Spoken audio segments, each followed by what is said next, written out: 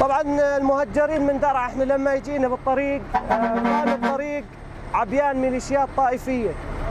شي زينبيون وشي فاطميون وشي لبيك يا عباس وشي لبيك يا حسين أشكال ألوان. آه، طبعا هددوا القافلات وكانوا بحالة آه، رمي. يعني بتطلع عليهم وكأنه في حالة هجوم على الأطفال على النساء اللي راكبه بالباصات. إحنا طبعا آه، استغربنا الوضع كله. والشباب تهيأت لحدوث أي طارئ. لأنه الوضع ما كان بيطمن ابدا.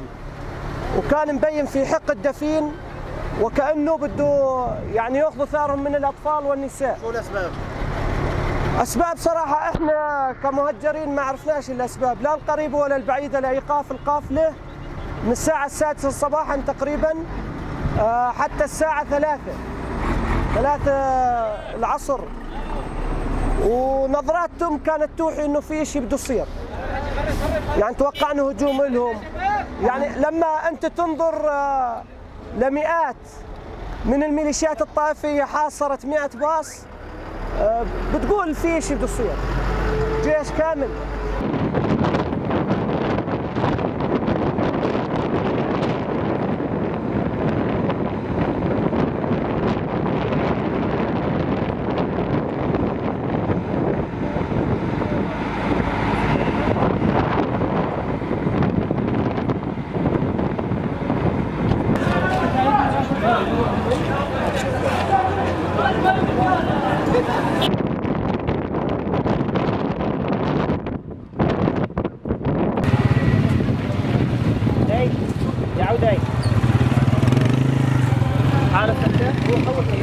الآن وصلت الدفعة الثانية من مدينة القنيطرة إلى ريف حمام مدينة موريك.